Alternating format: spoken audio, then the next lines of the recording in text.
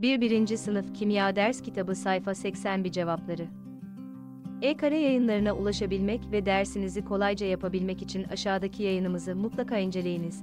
1. 1. Sınıf Kimya E-Kare Yayınları Ders Kitabı Cevapları Sayfa 81 H2 moleküllerinin difüzyon hızı ortalaması 400 ms'dir. Aynı şartlarda O2 moleküllerinin difüzyon hızı ortalaması kaç ms'dir? H 1 gmol, O 16 gmol. Cevap 100 ms. 1. 1. Sınıf Kimya E-Kare Eğitim Ders Kitabı sayfa 81 cevabı. ile ilgili aşağıda bulunan emojileri kullanarak duygularınızı belirtebilir aynı zamanda sosyal medyada paylaşarak bizlere katkıda bulunabilirsiniz.